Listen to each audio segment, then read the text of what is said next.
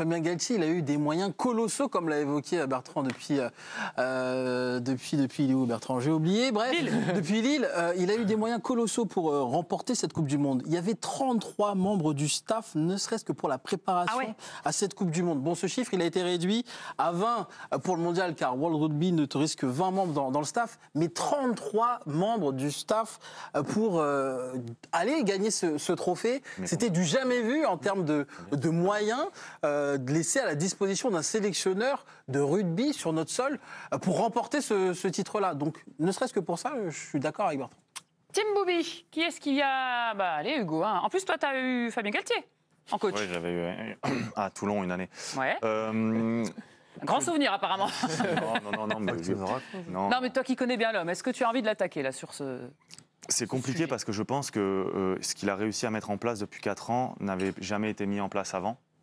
Alors euh, c'est vrai que c'est pour ça que je dis que Bertrand est un bon communicant aussi parce que sur euh, c'est terrible en fait parce que tu es nul pendant 4 ans, tu es en quart de finale et tu fais des choses euh, bien mieux et tu n'es que en quart de finale aussi. Donc c'est malheureux pour les joueurs.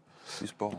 Ouais, bon, non, mais t'as raison, c'est c'est le sport. Mais après, ce qui me. Tu sais, je reprends la Nouvelle-Zélande en 2017. Ils ont une équipe, en 2007, pardon. Mm. Ils ont une équipe qui doit, être, qui doit dominer sur le rugby mondial. Ils perdent en quart de finale contre la France. C'est Graham Henry le sélectionneur et Stevenson le- l'adjoint. En 2011, ils sont champions du monde avec Graham Henry, donc ils gardent quand même, avec même Richie Mako encore, alors que plus personne n'en voulait. Graham Henry laisse sa place à Stevenson et ils sont à nouveau champions du monde en, en 2015 avec Stevenson. Oui, il n'y a pas de règle, quoi. Je pense que ça va prendre peut-être du temps.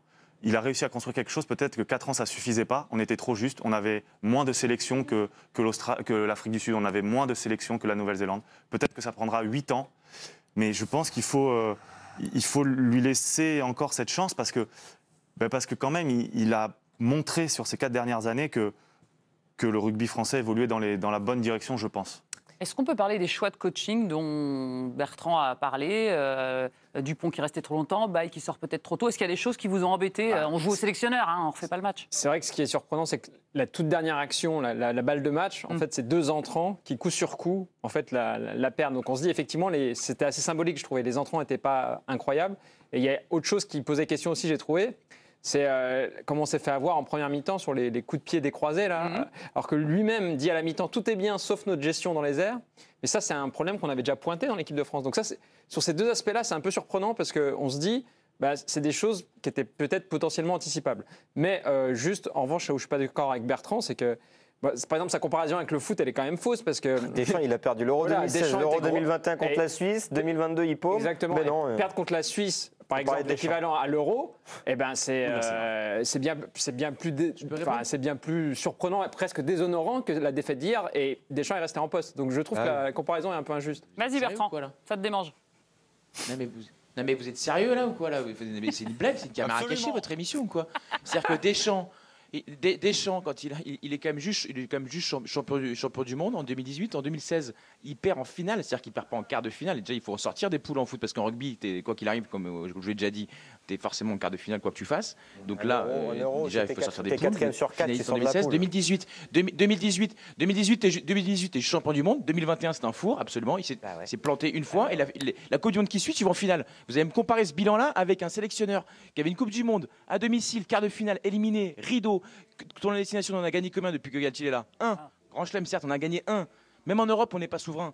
On s'invente une vie en fait, on s'invente une vie depuis un moment donné. On a des mecs qui dandinent, qui sont très bons, super, la, la charnière de Toulouse, tout ce que vous voulez. On gagne la Coupe d'Europe une fois sur deux, comme, euh, comme depuis toujours. Soit c'est Toulouse, soit c'est La Rochelle, soit c'est le Leinster.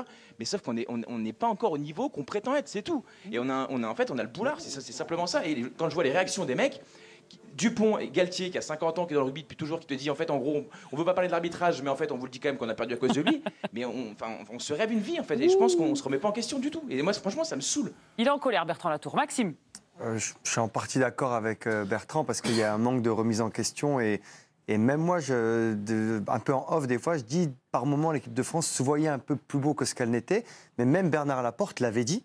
Euh, dans, la construction euh, de l'équipe de France, après des grandes défaites et des, euh, des grandes victoires, pardon, des larges victoires, Bernard Laporte avait dit aux médias Vous voyez l'équipe de France plus belle que ce qu'elle n'est, tant mieux pour nous, tant mieux pour le rugby, mais on sait où on en est. Et je pense aussi que la poule, les matchs de poule n'ont pas aidé l'équipe de France. Je le répète et re-re-répète.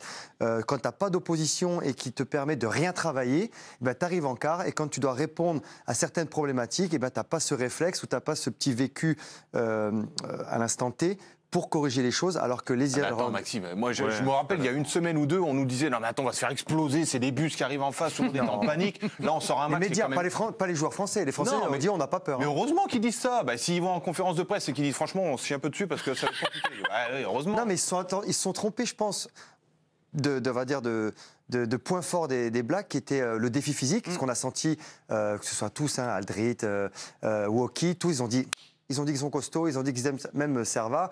On les attend, on va les. Sauf que eux, Et ils ça s'est dit, pas joué là. mais non, ça s'est joué dans les airs. Et nous, euh, pour avoir joué en équipe de France, le nombre de fois où on a été défaillants dans ce secteur de jeu, C'est incroyable. euh, contre le Pays de Galles, euh, le Pays de Galles qui adore les chandelles. Mais où est la responsabilité de Galtier dans ce que tu me racontes bah, là? la responsabilité, c'est que euh, je pense que il a voulu être tellement positif, peut-être. J'ai pas dit qu'il fallait le, le virer. Moi, j'étais pour toi. hein.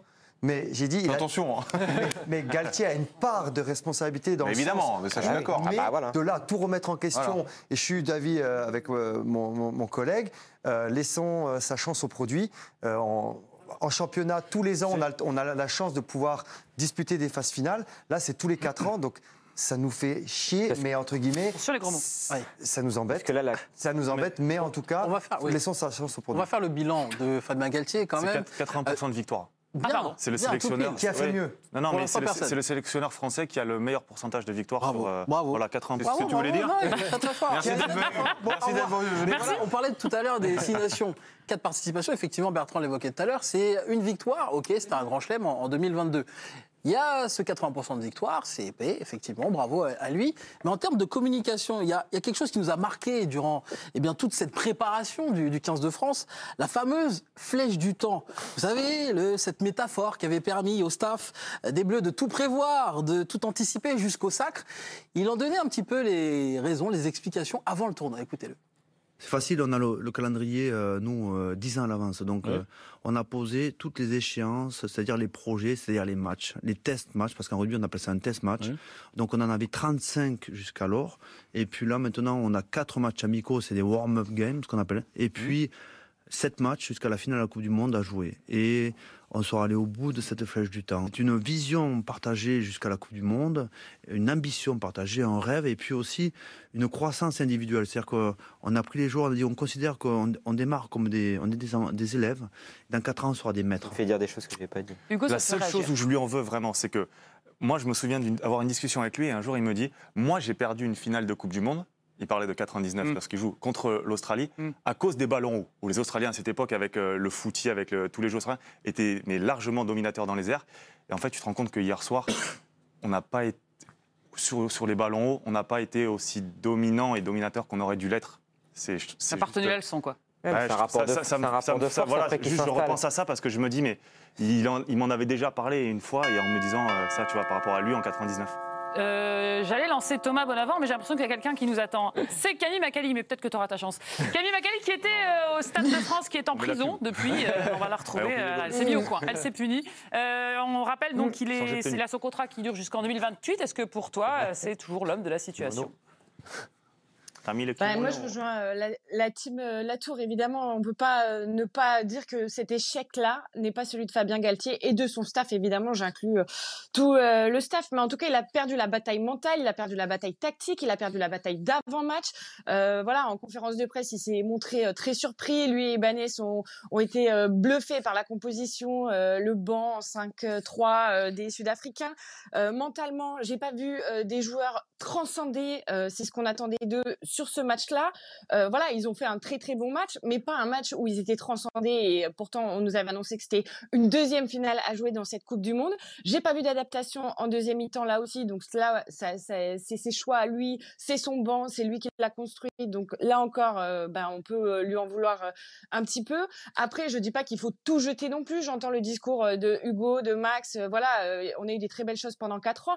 Mais maintenant, il va falloir se poser la question sur la structure du jeu de l'équipe de France parce que quelque part, on marche beaucoup depuis euh, un petit moment sur les individualités, euh, voilà, euh, qui sont très fortes. Évidemment, on a des joueurs très talentueux, mais on en attend plus. Et j'espère que cet échec va permettre au staff du 15 de France de s'ouvrir un peu plus, de donner un peu plus d'explications et de communiquer un petit peu mieux aussi avec les journalistes et avec le public français sur ce qu'est le 15 de France. Est tellement émue, Camille, qu'elle en tremble. On dirait qu'elle est sur son bateau vent, là. en direct de la Transat Jacques Vabre. Merci Camille, on te retrouve en direct du journal du rugby un petit peu plus tard avec Anne-Sophie Bernati. c'est- Le mot de la fin très rapide pour Thomas qui est foudrage. Moi, je vraiment tout ce débat-là, je ne comprends pas. C'est tellement facile de dire ça aujourd'hui, mais c'est tellement facile.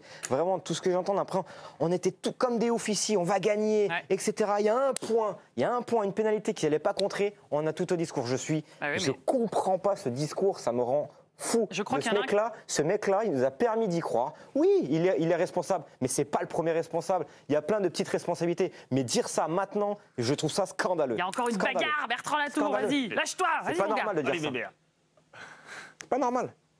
Bah, c'est pas normal. Si, en fait, si, si t'écoutais un peu tout le monde, Thomas, on n'était pas tous en train de faire la chenille et de dire que c'était gagné d'avance, loin de là. hein. Je crois que Hugo, on a eu des discussions, il pensait que les Sudaf étaient les, favoris de la compétition. Bon, bah eux, ils sont encore en compétition et pas nous. Donc euh, voilà, et puis c'est, le principe de la médiatisation. Hier, il y a 16 millions de personnes qui ont regardé le, match. Bah, ça fait partie du, euh, métier d'être, euh, d'être critiqué et il a des raisons de, l'être quand on est à la tête d'un, projet, quand c'est un échec, ça, on peut au moins s'accorder là-dessus.